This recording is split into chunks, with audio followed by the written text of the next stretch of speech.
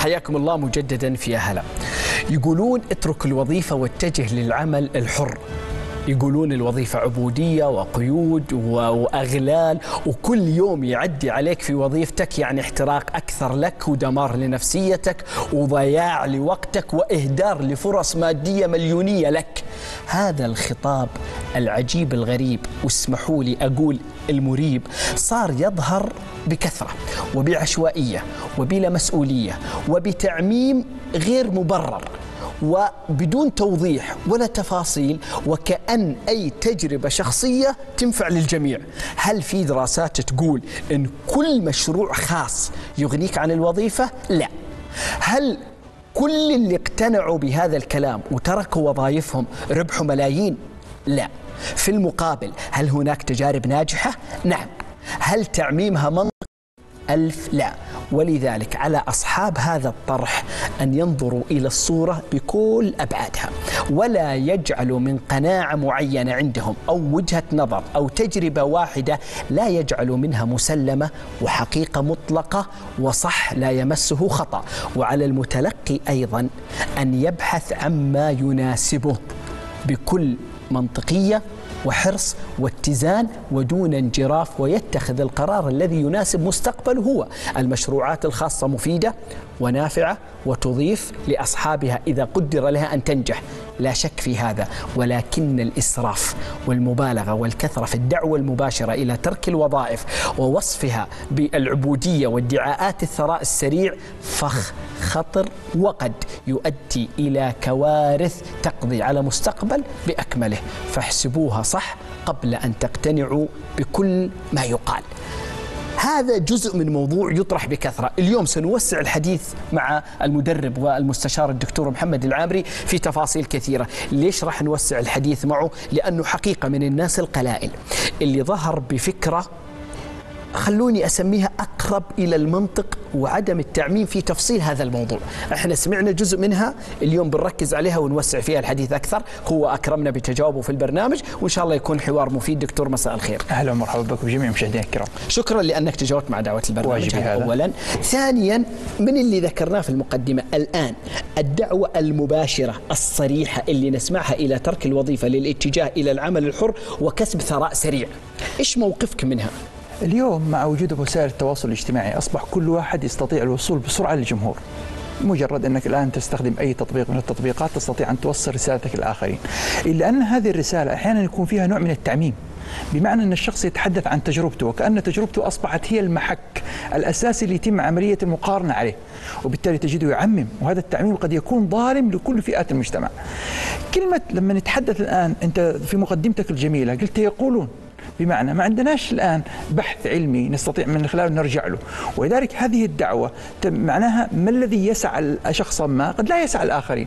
قد أكون أنا جربت تجربة ونجحت معي لكن لا تعني أن الآخرين كلهم استنجح معهم.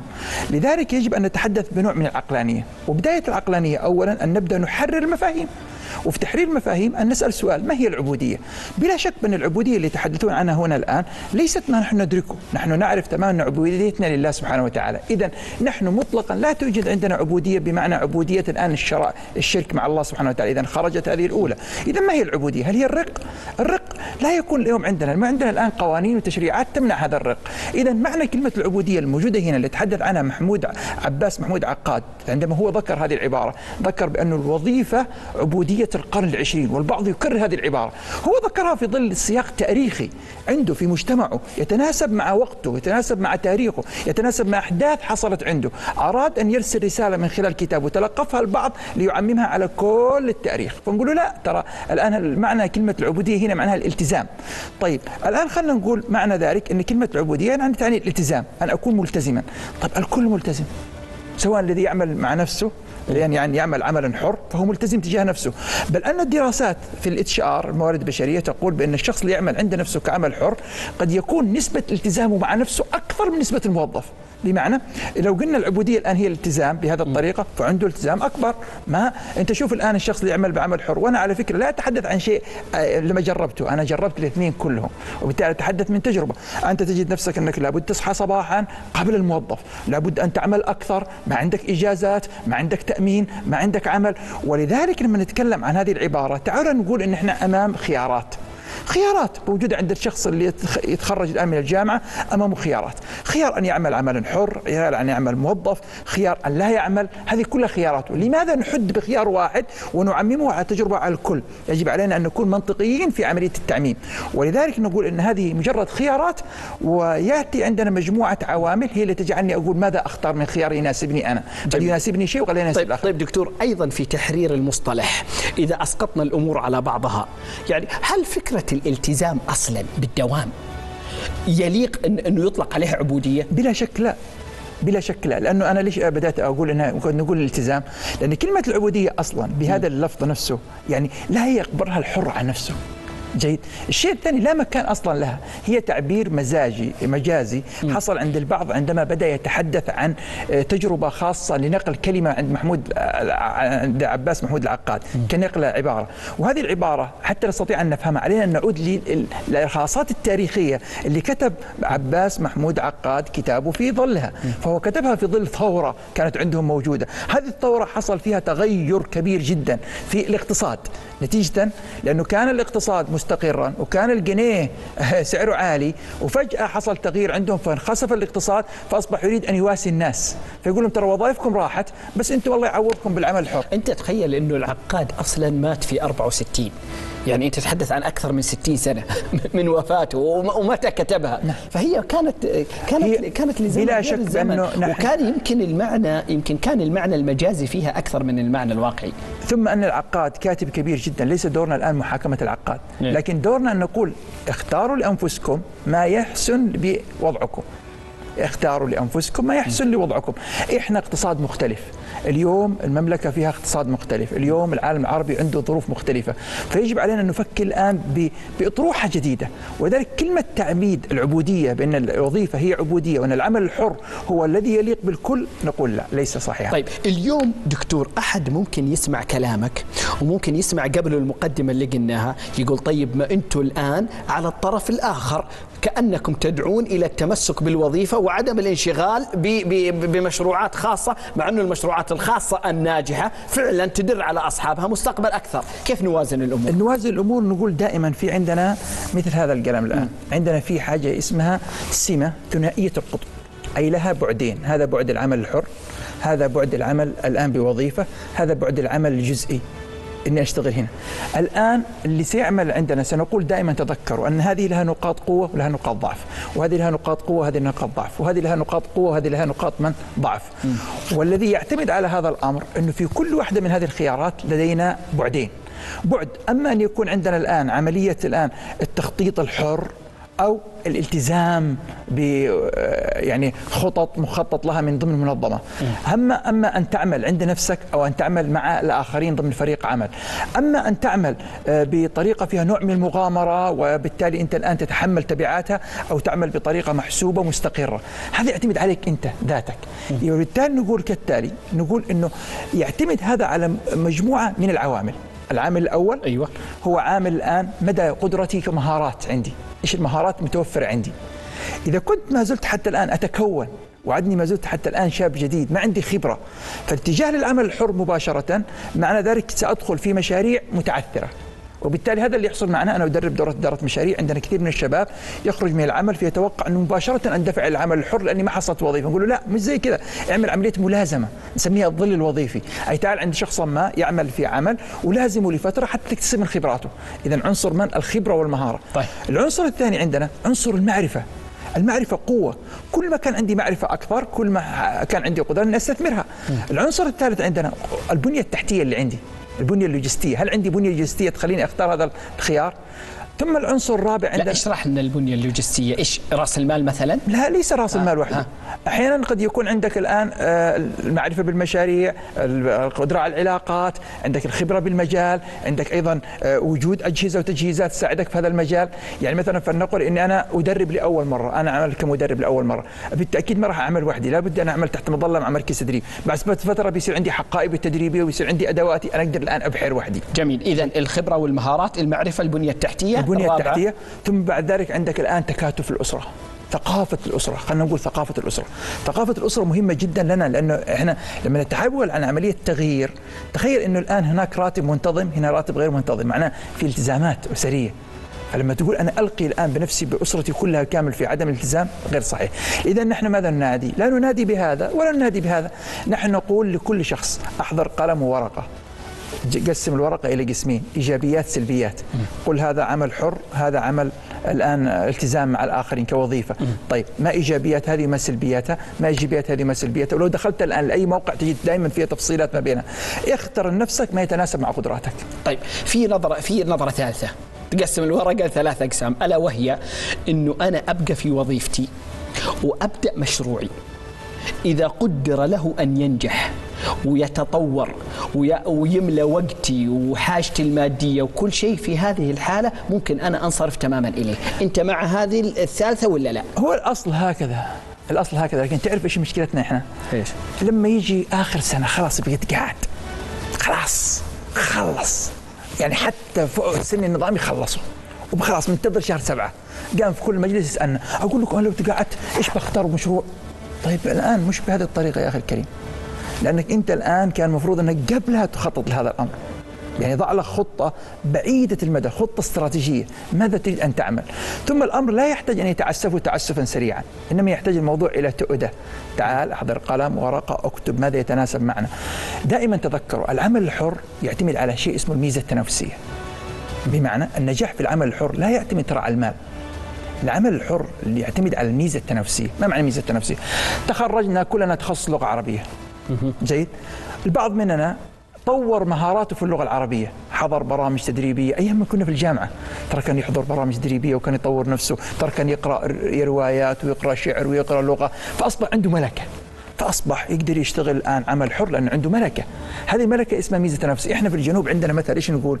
الأعور بين العمي فاكهة. يعني لو واحد مفتح بعين أفضل من غيره.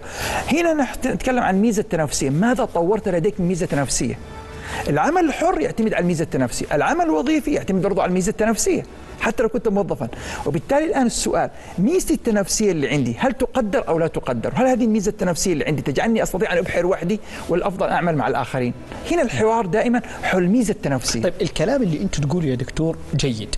ولكن ولكن غير المختص والفاهم ما يقدر يكتشفه حتى في ذاته. كيف يعرف إذا هو عقليته وتركيبته ومجموعة مهاراته تناسب أنه يبقى في وظيفة ولا يتجه إلى عمل حر. دائما عندنا الآن فيه سؤالين. جيد طيب. ما الفرق بين العمل الحر والعمل القطاع الحكومي أو القطاع الوظيفي؟ أي. في المال. هل عندك قدرة أن تدير المال وتعرف كيف تكتسب المال وتجلب المال وتسوق ولا لا؟ فإذا ما يأتينا الشخص يقول والله أنا يا أخي كنت موظف عند الآخرين الآن أريد أن أعمل عمل حر. إيه؟ سأقول له ترى التحدي عندنا الآن ليس في مجرد المهارة اللي تمتلكها بل في أربع مهارات أساسية ستكون موجودة عندك. وهي؟ مهارة القدرة على تسويق ذاتك. هل تقدر تسوق؟ تعرف التسويق؟ عندك الحد الأدنى معرفة على التسويق. مهارة الإدارة المالية. هل عندك قدره أن تدير مالك؟ لأن عندك التزامات ستكون موجودة ويجب عليك أن توفي بها. المهارة الثالثة مهارة القدرة على الإدارة الذاتية. هل عندك قدرة أن تدير ذاتك؟ لأن لابد يكون عندك قدرة على الانضباط والإدارة مهارة العلاقات العامة. يعني يجب أن يكون عندك علاقات عامة عالية. هناك أول كان هذه المهارات كلها نسميها وظائف المدير هنري ميتزنبرغ وضع يعني 11 مهارة موجودة عند المدير. هذا المدير هو يقوم بهذه الأعمال. أنا لما كنت موظف كان المدير يقوم بها. أنا كان دوري أن أنتج. الآن لما أعمل في العمل الحر أنا مدير نفسي. تعرف ما معنى كلمة مدير نفسي في العمل الحر؟ أن ألبس القبعات الأربعة. قبعة مدير المشروع قبعة المستثمر قبعة المستخدم قبعة أيضا آه، الشخص المهني اللي عنده مهارة. طيب إذا واحد هو أصلا ما تعود على هذا الكلام نقول له يا أخي الكريم ما في مشكلة تبغى تدخل القطاع الحر ادخل بس بماذا؟ بتدريب دربة. أجلس وتعال درب كيف تدير مشروع كيف تعمل فيه لازم سوي ملازمة. اشتغل مع شخص ما كان ملازم حتى تكون بعملية من تبدأ العمل معنا. طيب انت من تجربتك الشخصية دكتور انت قضيت سنوات طويلة ممكن تقولها لنا إذا تحضرك في العمل كموظف. نعم. وسنوات يمكن توازيها في العمل الحر. أنا عملت في العمل الحكومي 19 سنة. مه. ثم قدمت استقالة بعد 19 سنة. يبقى لي سنة واحدة من التقاعد النظامي وخرجت للقطاع الخاص. جيد. وعملت قطاع خاص عند نفسي. جيد. وأسست لي مؤسسة وأعمل فيها. فجربت الاثنين كلهم. بس يجب أن تعرف الشيء التالي. أن أنا لما قدمت الاستقالة قدمتها بعد 19 سنة بس منذ عام بعد ثمان سنوات في العمل الحكومي وأنا أخطط للحظه انفصال. أي بكت كم؟ 11 سنة وأنا 11 سنة. أنت, وأنا أنت بعد كم سنة هناك؟ بعد 11 سنة قررت إني أستقيل. جيد. ولما جيت أقدم استقالة كان البعض يقول لي انتظر باقي سنة واحدة بس. لا أنا الآن جهزت مركبة أخرى. التأخر لهذه السنة قد يضيع علي من المركبة. حلو. اذا معناه إنه ما عندك إشكالية تدخل القطاع الخاص بس يجب عليك أن تتعلم مجموعة مهارات فيه. ثمان سنوات وأنت تهيئ نفسك لهذا الانتقال. نعم لهذا الانتقال. ولما خرجت مع ذلك ارتج عليه. لأنك لما تخرج للقطاع الخاص نفسه هناك ثقافة مختلفة مش زي ثقافة العمل الحكومي. يجب أن نعرف أن هذه ثقافة وهذه ثقافة وهذه الثقافتين كلها أنت قادر أن تنجح فيها لكن يجب أن تهيئ نفسك. تقيس انتقالك بالناجح؟ آه بالنسبة لي نعم. طيب وش المشكلة اللي في البداية وش اللي ارتج عليك في البداية وسبب لك هزة آه لا أنا أوضح لك فكرة بسيطة أيه؟ أنت الآن موظف أيه؟ حكومي أو أيه؟ موظف قطاع خاص أيه؟ ما عمرك قد شفت فيلم مسير أحكي لك قصة سريعة؟ أيه؟ يلا أحكي لك قصة. أول ما تركت العمل الحكومي كنت مدير تدريب ترى. أيه؟ يعني متعود على التدريب وكذا. فأول ما جيت فتحت لي مؤسسة تدريب مركز تدريب. م. أول وظيفة علمتني كل شيء. أنا تخصصي إدارة وأدرب الناس على الإدارة. جبت أحد الإخوة المبرمجين قلت له شوف أنا مدرب وأنت مبرمج بنسوي موقع وندرب الناس ونبدأ زي كذا. قال لي طيب الموقع يبغى له تصميم. قلت إذا نوظف مصمم. طيب يلا جبنا واحد يسوي لنا إعلانات. جينا واحد سوينا معاه مقابلة يسوي لنا إعلانات قال يسوي الإعلان الواحد 100 ريال.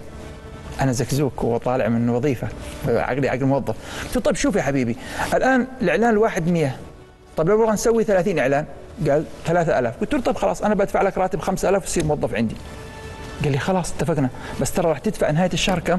5000 سوينا إعلانات إعلان. قلنا طيب. جبنا الموظف حطيناه جبنا جهاز كمبيوتر جبنا كل الأدوات. طبعا كلفنا 15000 ريال أدواته بس. وجت توظف معنا أول يوم. أول يوم أعطيته 10 إعلانات. من الساعة 8 إلى الساعة 2 لم أسمع له صوت. صمت. يشتغل يسوي يسوي يسوي يسوي الآن إعلانات ما شاء الله عليه. خلص الإعلانات. الساعة 2 جا قال لي خلص الإعلانات. أنا السؤال بكرة إيش أعطيه مهام أنا لما كنت موظف ما أفكر في النقطة دي. يعني لما كنت موظف ما كنت أدفع أنا. ما كنت أدير الأمور المالية. الآن أصبح بالنسبة لي بكرة هذا كيف بيدير؟ ثاني يوم جاء الموظف هذا نفسه اللي أول يوم ملوش صوت جايب معاه تميس ومعاه فول ومعاه عدس وعازم الشباب عشان نفطر سوا ويفطر وبعدين جالس وأسمع صوته يضحك من بعيد. ناديته قلت له تعال. جاء دخل علي قلت له ليش مش شغال اليوم؟ قال أنت ما أعطيتني مهام. آه يعني المشكلة عندي أنا كمدير. قلت له طب شوف خذ المذكرة دي وحولها كلها لفوتوشوب.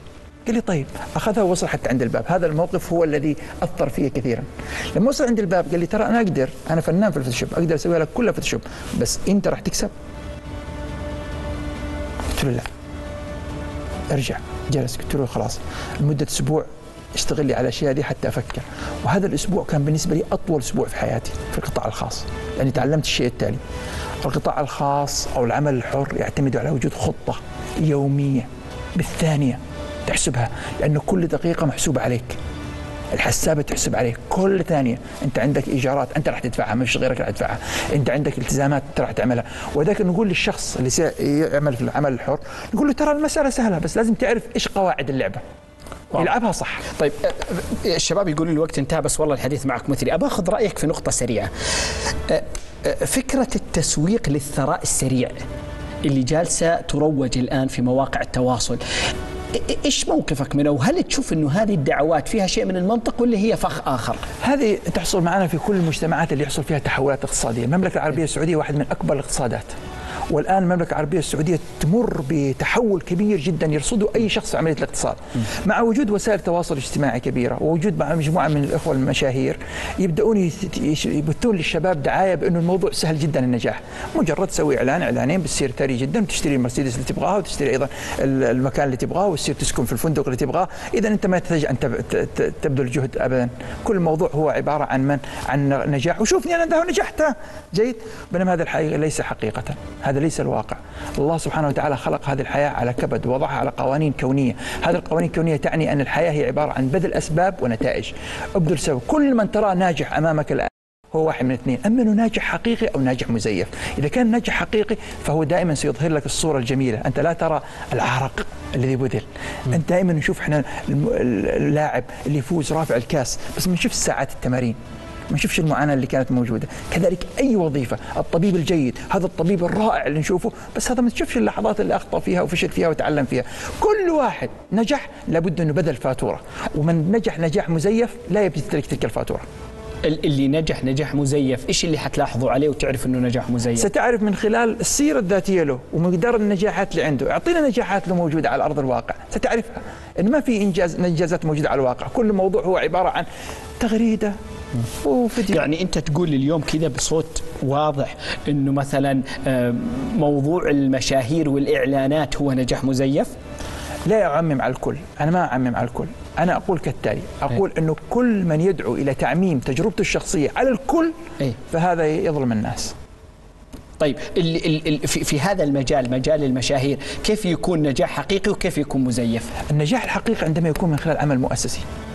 إيه؟ جيد. عمل مؤسسي ما معناه إن هذا الشخص الآن المشهور يحول عمله الآن إلى مؤسسة يحولها إلى مؤسسة ويتعامل معها كعمليات أساسية عندنا وبالتالي يستطيع أن يكرر النجاح.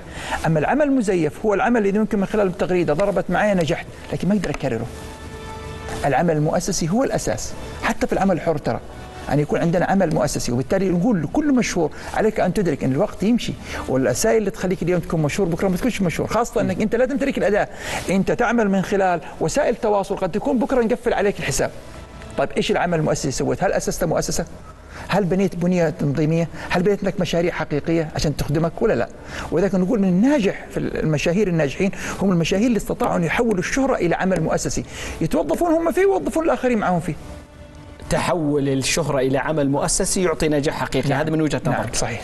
دكتور شكرا جزيلا لك ولحضورك معنا في هذا. شكرا للدكتور محمد العابري. أتوقع لو استمر الحوار يعني ساعة قدام برضو ما راح نمل وحنفتح نوافذ جديدة ولكن إن شاء الله أنه نحظى بفرص حوارية أخرى مع الدكتور حسب وقته ونقدمها لكم. بالتأكيد أن كل ما يطرح هنا هو ما يطرح في كل مكان يقبل الاتفاق ويقبل الاختلاف ووجهات النظر والأخذ والرد والقبول والاختلاف. بنروح إلى فاصل وبعدين نلقاكم.